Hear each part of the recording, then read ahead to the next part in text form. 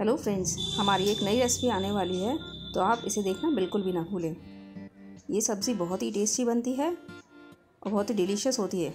अगर आपको हमारी रेसिपी पसंद आए तो कमेंट करके ज़रूर बताएँ। ये रेसिपी हम बहुत ही जल्द पोस्ट करेंगे। इस सब्ज़ी का स्वाद बहुत ही अच्छा होता है और बहुत ही अलग होता है। अगर आपको रेसिपी पसंद आए तो कमेंट करके ज़रूर बताएँ। और जल्द ही मिलते हैं आपसे पूरी वीडियो में।